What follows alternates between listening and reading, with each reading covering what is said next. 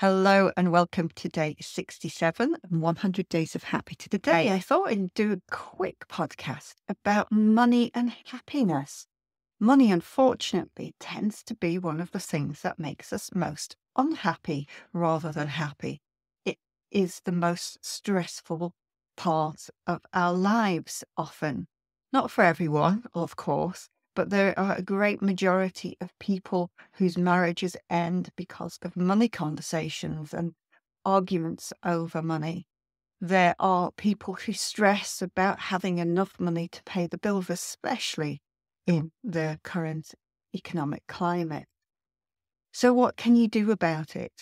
Well, weirdly enough, it's like uh, break falling in judo or break falling in any martial art you learn to relax as you hit the ground. And it's the same with money. Being able to relax and focus on other things is more likely to bring you what you focus on rather than the fear and the panic that's related to money. Unfortunately, there are a lot of people out there who want to keep you in the fear and the panic and keep you in poverty. Don't let them take control of your emotions and focus on the positives. Focus on the result you want rather than the one you're moving away from.